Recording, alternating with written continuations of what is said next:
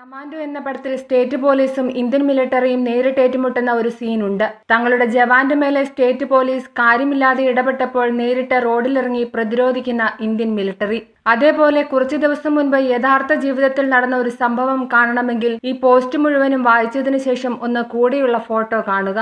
ഈ നടന്നുകൊണ്ടിരിക്കുന്ന ലോക്ക്ഡൌൺ കാലയളവിൽ കർണാടക സ്വദേശിയായ C R P F cobra commando Sachin ലീവിന് നാട്ടിൽ തന്റെ കുടുംബത്തോടൊപ്പം കഴിയുകയായിരുന്നു. കഴിഞ്ഞ ഇരുപത്തിമൂന്നാം തീയതി തന്റെ വീടിന്റെ വെളിയിൽ നിന്നും ബൈക്ക് കഴുകിക്കൊണ്ടിരിക്കുന്ന സച്ചിനെ അതുവഴി വന്ന കർണാടക പോലീസിലെ രണ്ടുപേർ മാസ്ക് ധരിക്കാത്തതിനെ ചോദ്യം ചെയ്യുകയും അതിന്റെ പേരിൽ സ്വന്തം വീട്ടുകാരുടെയും മാതാവിന്റെയും നാട്ടുകാരുടെയും മുന്നിൽ വെച്ച് ക്രൂരമായി മർദ്ദിക്കുകയും അവിടെ വെച്ച് അർദ്ധനഗ്നനായി വസ്ത്രം പോലും ധരിപ്പിക്കാതെ അറസ്റ്റ് ചെയ്ത് സ്റ്റേഷനിൽ കൊണ്ടുപോവുകയും ചെയ്തു. സ്റ്റേഷനിൽ വെച്ച് മണിക്കൂറുകളോളം കുടിക്കാൻ വെള്ളം പോലും നൽകാതെ കയ്യിൽ ചങ്ങലയും അണിയിച്ച് പതിനഞ്ചോളം പോലീസുകാർ ക്രൂരമായി മർദ്ദിച്ചു. സംഭവം പുറംലോകം അറിഞ്ഞതു മുതൽ പിന്നെ അവിടെ നടന്നത് ചരിത്രമായിരുന്നു.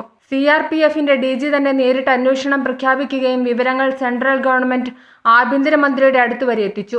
രാജ്യത്തിന് വേണ്ടി ജീവൻ കൊടുക്കാൻ തയ്യാറായി സേവനം ചെയ്യുന്ന ഒരു കമാൻഡോയോട് പെരുമാറേണ്ട രീതിയിലായിരുന്നില്ല കർണാടക പോലീസ് ചെയ്തത്.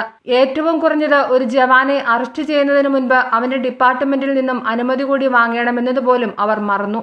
കേന്ദ്ര ആഭ്യന്തര മന്ത്രാലയം നേരിട്ടിടപെട്ട് C R P F D G വഴി ആ ജവാന്റെ കാര്യത്തിൽ പെട്ടെന്ന് തന്നെ ഒരു തീരുമാനത്തിലെത്തി.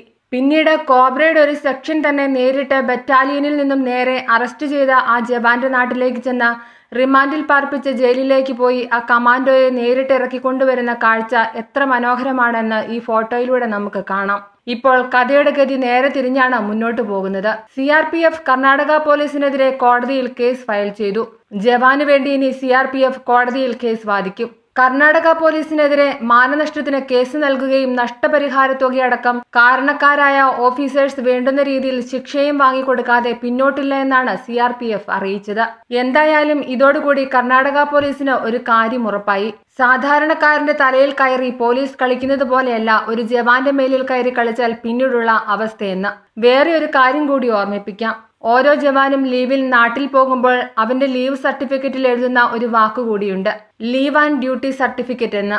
അതിന്റെ അർത്ഥം എന്താണെന്ന് അറിയുമോ ലീവിലാണെങ്കിലും ജവാന്മാർ ഡ്യൂട്ടിയിലാണ് എന്ന്. ലീവിലിരിക്കുമ്പോഴും അവർക്ക് ഫോഴ്സിൽ എന്ന പോലെ എല്ലാ നിയമങ്ങളും ബാധകമാണ് എന്നാണ്. എന്നാ പിന്നെ എല്ലാവർക്കും